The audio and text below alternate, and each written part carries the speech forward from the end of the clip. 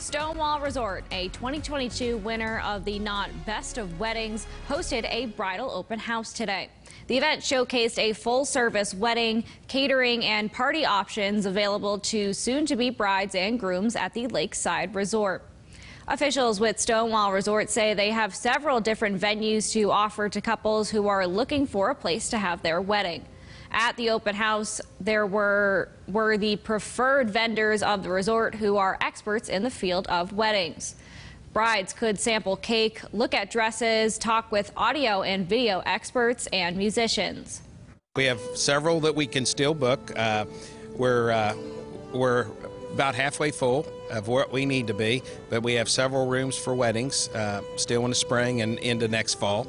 So this Fall Expo is a, a big thing that starts our first of the year out, plans the first weddings, and then lets us go into the fall weddings. Attendees at the bridal open house had a chance to win a complimentary wedding ceremony.